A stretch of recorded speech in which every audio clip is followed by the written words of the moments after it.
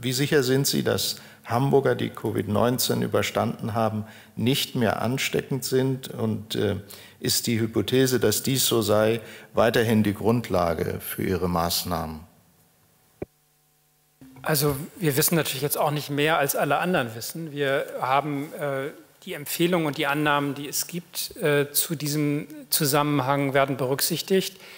Ähm, nach dem, was ich aus Korea mitgelesen habe, ist es auch nicht so, dass diejenigen jetzt sofort wieder erkrankt sind, sondern dass man einfach festgestellt hat, dass äh, diejenigen, die schon mal infiziert waren, ich nehme mal an, zwischendurch testnegativ waren, dann wieder testpositiv geworden sind. Ob die wirklich ein zweites Mal erkrankt sind, ist eine andere Frage. Und insofern sind wir hier noch einmal in einem Bereich, in dem wir noch mehr Informationen benötigen über die Frage, wie sich das Virus auswirkt und wie es mit den, mit den Immunitätsentwicklungen ist. Wir haben derzeit, das ist die gängige Hypothese, die Annahme, dass eine überstandene Infektion äh, zu einer mindestens, sagen wir mal, zeitweisen äh, Immunitätslage führt.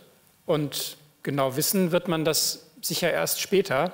Wir haben äh, vor dem Wochenende bereits berichtet, dass wir zunächst einmal beginnen damit, auch in Hamburg diesen sogenannten Antikörperstatus zu ermitteln. Also mit einem geeigneten Test herauszufinden, äh, wie entwickelt sich äh, das Vorhandensein von Antikörpern als Hinweis auf eine Immunisierung äh, nach, ähm, in der Bevölkerung, weil das die gängige Hypothese ist. Das ist das, was aus analogen Überlegungen aus anderen Virusinfektionen ähm, heraus, was sich jetzt als der Stand der, der, der Überlegungen anbietet.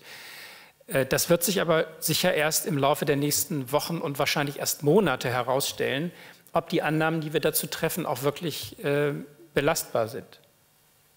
Vielleicht direkt dazu, Herr Tschentscher, die Frage von Insagal, wann denn äh, massenhafte Antikörpertests kommen. Die Leopoldina hat ja äh, empfohlen, deutlich, dass deutlich breiter getestet werden muss, um eben diese verlässliche Datenbasis zu bekommen. Ja, das ist eine ganz praktische Frage, die sich aber zunächst einmal an die Testhersteller wendet. Es gibt derzeit in Hamburg, wenn ich das richtig weiß, zwei Tests, die eingesetzt werden, die gut äh, äh, etabliert sind, wo es auch Vorannahmen gibt zur Spezifität. Es geht ja immer darum, dass man auch einen Test hat, der wirklich die Antikörper gegen Corona, ähm, also COV2, nachweist und nicht eine Kreuzreaktion hat mit anderen ähm, mit anderen Antikörpern. Und insofern äh, ist das jetzt erst einmal eine Frage an die, an die, äh, an die Testhersteller. Ähm, vor einer Woche war das noch nicht so klar, ob dort ausreichend Möglichkeiten bestehen, jetzt große Kollektive zu screenen. Aber das ist jedenfalls das Vorhaben, das es gibt. Und äh, so wie die Tests hergestellt werden, ist es aber auch wahrscheinlich, dass man ausreichend ähm, Tests zur Verfügung stellen kann. Es geht ja darum, dass auf diesen, in diesen Tests rekombinante Antigene angeboten werden, also solche, die man im großen Maßstab herstellen kann. Insofern gehe ich mal davon aus, dass es äh, über kurz oder lang möglich sein wird, genügend Tests dieser Art zur Verfügung zu stellen. Aber ob das jetzt praktisch so ist und ob es auch tatsächlich jetzt schon so ist, ähm, kann ich Ihnen noch nicht beantworten.